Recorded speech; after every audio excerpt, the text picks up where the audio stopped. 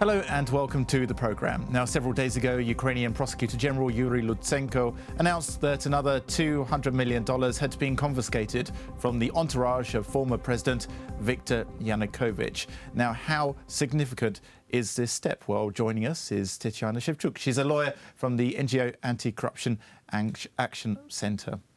Hello, thank you Hello. for joining us. Thank you for inviting.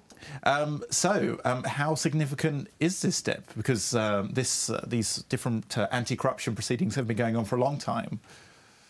This is very important for anti-corruption effort in Ukraine and all the prosecution of former President Yanukovych, because now we have that actually something is happening and real money coming back to budget. But there are a few concerns with all the secrecy around the issue, because we don't know uh, whom the money was confiscated from, uh, what was the what was the real procedure, and what would be like happening with the money next. Yeah, actually, that's interesting because when I was researching for this interview, I was trying to find out whose money it was, and there was no record of it anywhere. It was just a very short paragraph that said, We've confiscated the money and some millions are being transferred into the state budget.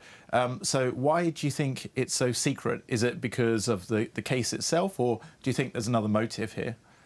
So the reasoning of prosecutor's office is that their investigation the investigation is ongoing and they have to uh, keep their secrecy of investigation just to uh, have all the leads covered and so on.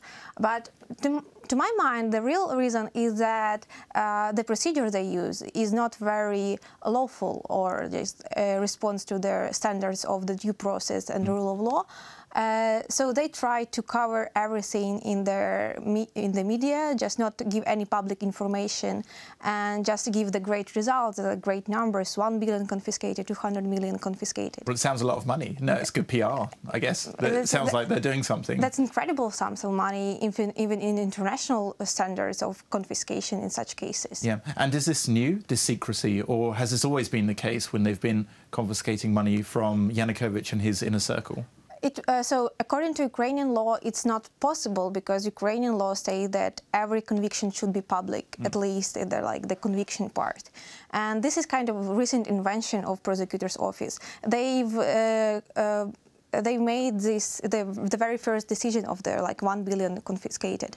They made it state secrecy, so it's highly confidential and uh, uh, closed information. Uh, kind of usually the state secrecy is something that threatens the national security. Yeah, of course. Yeah, usually this is used in sort Yeah, of but- exceptional But how come their like their uh, criminal investigation is threatening national secrecy is unknown? and it's in the interest of the public as Ye- well. Yeah, Yeah. Uh, because the public is interested in accountable asset recovery, uh, and uh, the Yanukovych case is very big, especially in the corruption situation in Ukraine and all the happening like last three years. Uh, so the public wants to know what really happened, and no answers are given. I see. And um, no, the methods that the prosecutor's office are using to get these assets back, um, are they up to European standards? Is this why they are hiding it? Because no, they're not up to European standards? So we don't know Yeah, because we yeah. don't we don't have any information. But uh, that's like an assumption that if they're hiding, they, then they have they have something to hide in this situation. Of course, if a European standard is if their like assets are confiscated from the person, a legal person, uh, this person should have a right to present uh, its case, here or his or her Or case in the yeah, court. yeah. In the Uh-huh. court, it's uh, and it's a Ukrainian obligation under European Convention of Human Rights to uh, uphold the standards of due process and the right to, to fair trial. Hmm. And um, this secrecy and this like semi-legal.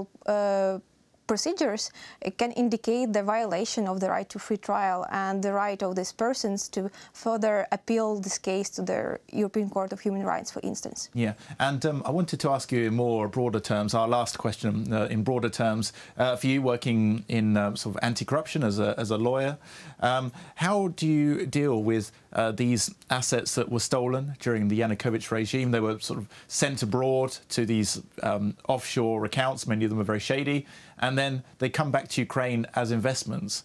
So how do you track, I mean, um, all these, uh, these different assets?